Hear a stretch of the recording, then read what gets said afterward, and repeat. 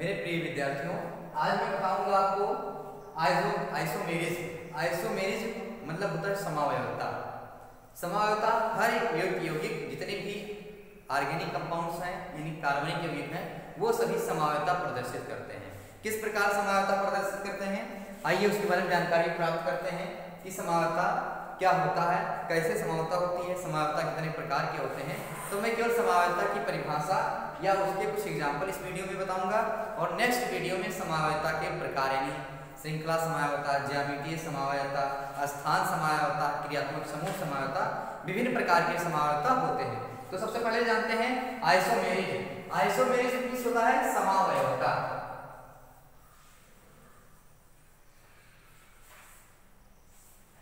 समावयवता। सबसे पहले समावयवता की परिभाषा सुन लीजिए आप, उसको, उसके बाद अपने नोटबुक में लिख लीजिए। समावयवता किसे कहते हैं? या समानता क्या है? तो लिखिए वह यौगिक जिनके अणसूत्र समान, परंतु संरचना सूत्र भिन्न भिन्न होते हैं समावयवता कहलाते हैं। वह यौगिक जिनके अणसूत्र समान, परंतु संरचना सूत्र भिन्न भिन्न होते हैं समावयवता कहलाते हैं। लिख लीजिए इसको। वह यौगिक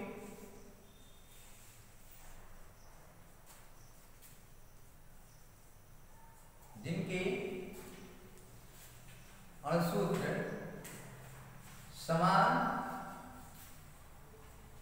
परंतु संरचना सूत्र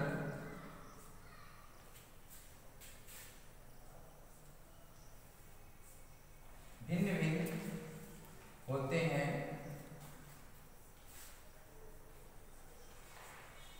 समावयवता कहलाते हैं यानी आइसोमेरिज आइसोमेरिज यानी वो यौगिक जो जिनके अणुसूत्र समान परंतु संरचना सूत्र भिन्न भिन्न होते हैं समावयवता कहलाते हैं। जैसे हमने ले लिया एग्जांपल में, जैसे C eight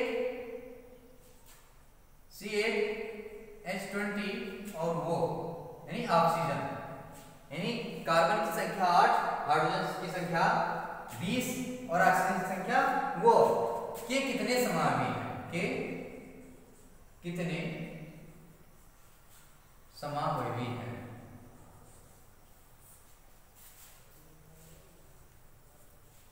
तो सी एट एच ट्वेंटी और ऑक्सीजन के कितने समावयवी हैं? यानी जो ये हमारा अणसूत्र, ये अणु के रूप में लिखा है तो इस अणुसूत्र से कितने समावयवता कितने प्रदर्शित कर सकते हैं और कितने यौगिक बन सकते हैं? तो चलिए देखते हैं पहले कितना बन सकता है।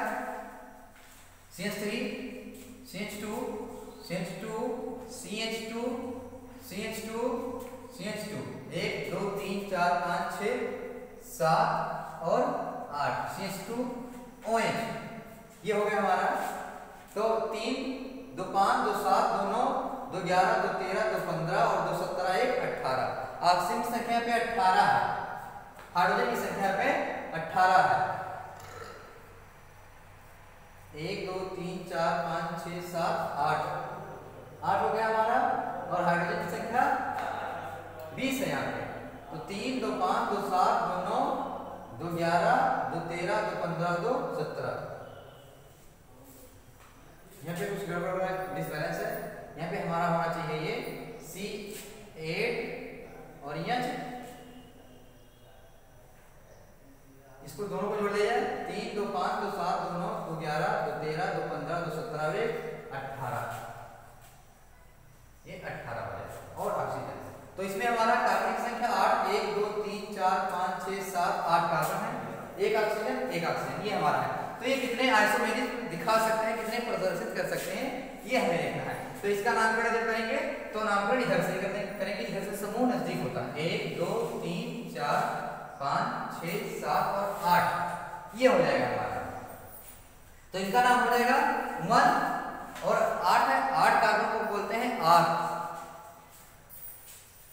तो हो जाएगा आपटे नार, वन आपटे नार।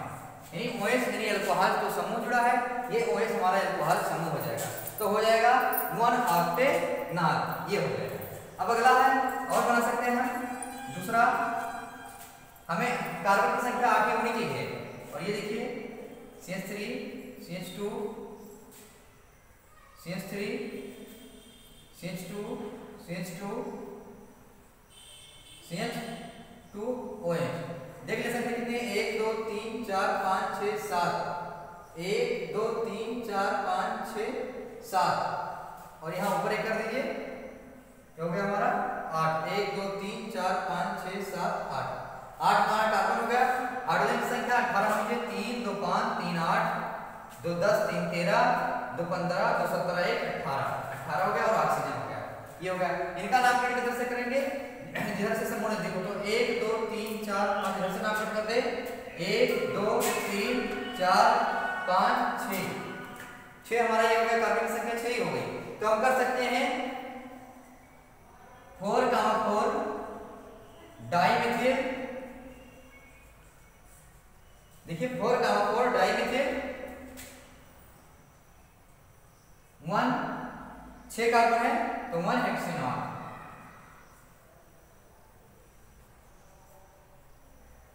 ये हो जाएगा और इनके समान तो कर सकते हैं। जैसे तीसरा हमारा हो जाएगा। C H three C H two C H C H C H three C H three और C H two C H two एक, दो, तीन, चार, पाँच, छः, सात और आठ और ओ एच देखिए इनका भी नामकरण कैसे करें? इधर से समूह नज़दीक इधर से कर लेंगे। एक, दो, तीन चार, पाँच, छ। ये हो गया हमारा। तो लिख सकते हैं थ्री कामा थ्री दो बार है तो डाई लग जाएगा। डाई फिर hyphen methyl three comma three dimethyl one hexanone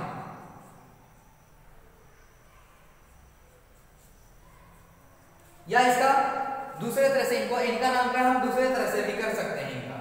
इनका नामकरण हम दूसरे तरह से कर सकते हैं। कह सकते हैं इसको, लिख सकते हैं, four comma four die methyl और इससे पहले हम जोड़ देंगे कि कितने कार्बन है। तो हम हेक्सेन लिख सकते हैं पहले। यानी छह कार्बन है। एक, दो, तीन, चार, पाँच, छह। छह कार्बन तो हमने हेक्सेन लिख दिया four comma four dimethyl four comma four dimethyl और वन आर ये हो जाएगा। वन आर हो जाएगा। ये हो गया अगला हमारा हो जाएगा कि यहाँ पे कार्बन की संख्या कितनी है? छह। और तीन पे और तीन पे यहाँ, तीन और चार पे है यहाँ पे। चार पे मिलेगा तीन पे और चार पे। तो तीन कामा चार डाइमेथिल हेक्सेन तो क्या करेंगे? नामकरण कर लेंगे इस तरह इसको हम लिख सकते हैं, छह कार्बन को लिख सकते हैं hexane three comma four dimethyl one R one R क्योंकि वन पे आर लगा यानी हम कह समानता क्या होता है? समानता वह होता है, यानी जिनके अणुसूत्र समान, परंतु संरचना सूत्र भिन्न भिन्न होते हैं, समानता कहलाते हैं। सी एट और एच एटीन और वो, यानी कार्बन यहाँ पे हमारा आठ है और हाइड्रोजन अठारह है ऑक्सीजन एक है। कि कितने समाई बन सकते हैं कितने सूत्र बन सकते हैं। अब देखिए, इनमें सबका नाम अलग है, लेकिन सबके अणु यही है। देखो, कार्बन संख्या एक, दो, तीन, चार, पाँच छः सात, आठ। आठ कार्बन है और एक ही ऑक्सीजन है। और अठारह हाइड्रोजन तो अठारह हाइड्रोजन भी इसमें आप गिन लीजिए। इसमें देखिए, इसमें भी वही कंडीशन है। एक, दो, तीन, चार, पाँच छः सात, आठ। आठ कार्बन आठ कार्बन और हाइड्रोजन की संख्या अठारह और एक ही ऑक्सीजन यहाँ पे है। इनका नामकरण हो गया? हेक्सेन यानी पहले छह तो हेक्सेन कर रहे फोर कामा फोर यानी फोर पे दो बार लगा है। क्या लगा है? मेथिल। तो दो बार लगा तो डाई मेथिल आर। ये हो गया हमारा। ऐसे इसमें भी है तो ये हमारे समावता हो गए तो वही यौगिक जिनके अणुसूत्र समान, परंतु संरचना सूत्र भिन्न भिन्न होते हैं समावता कहलाते हैं। यानी यौगिक अलग अलग है, और सबके अणुसूत्र समान है, इसका भी, इनका भी, और इनका भी। तीनों के अणुसूत्र यही है, लेकिन नाम जो है अलग अलग हो गया है तो यही हमारे क्या कहलाते हैं? समावता कहलाते हैं। नेक्स्ट टॉपिक में आपको बताएँगे समावता के प्रकार, और आप इनको लिख लीजिए।